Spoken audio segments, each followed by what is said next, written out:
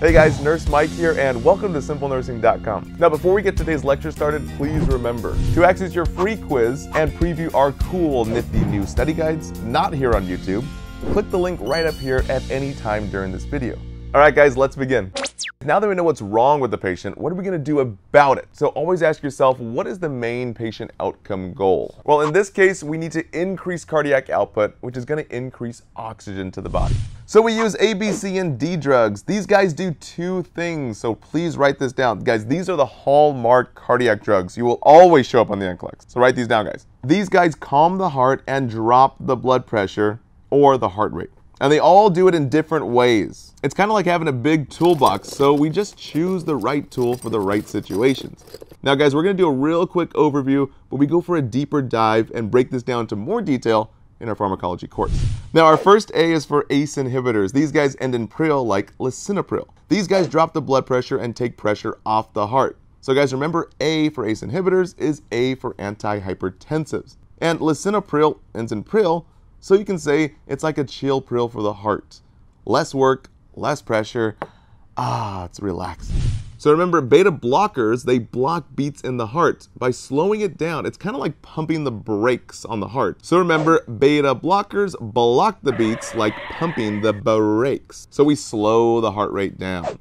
Now C is for calcium channel blockers. Remember, calcium calms the heart. Our famous ones here ending in D-pine like nifedipine or Zem, brand name for Cardizem. So guys, remember D-pine helps the blood pressure to decline. And Zem, like Cardizem, is kind of like Zen yoga for the heart.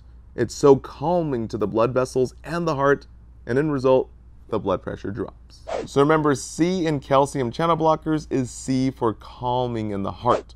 Now D for digoxin, our cardiac glycoside, this guy gives a deep contraction. This is also known as increased contractility, and it also slows the heart rate, known as negative chronotropic. Chronos meaning time, so negative time, less beats per minute. So remember the D in digoxin is D for deeper contraction. Or we can say digoxin because it digs for that deeper contraction. But guys, caution, the three most common test questions always include number one, checking the apical pulse for 60 seconds prior to giving. Number two, checking the potassium levels to see if they're normal between 3.5 and 5.5. That's a huge priority. And lastly, monitoring for digoxin toxicity. Guys, anything over 2.0 digoxin level is huge. And usually vision changes are the first sign of toxicity. So again, any patient with an apical pulse less than 60 beats per minute, or any potassium less than 3.5, or any toxicity level over 2.0, guys, don't give the medication hold the medication and report your findings to the primary provider. Now, the last D is for diuretics, which help diurese the body, aka dehydrate the body. And all of this decreases the blood pressure. So, drugs like furosemide or hydrochlorothiazide, now these both end in ide, so think the body is dry. They dehydrate the body and drop the blood pressure. Now, these guys are potassium wasting diuretics, meaning they dump potassium from the body and into the potty. So, guys, please be sure to educate your patient to keep that potassium intake high. Teach those patients to eat green leafy vegetables like spinach and fruits like melons, bananas, and others. Now, if drugs don't manage the condition, then surgery is our last resort. LVAD. Click right up here to access your free trial. And please consider subscribing to our YouTube channel.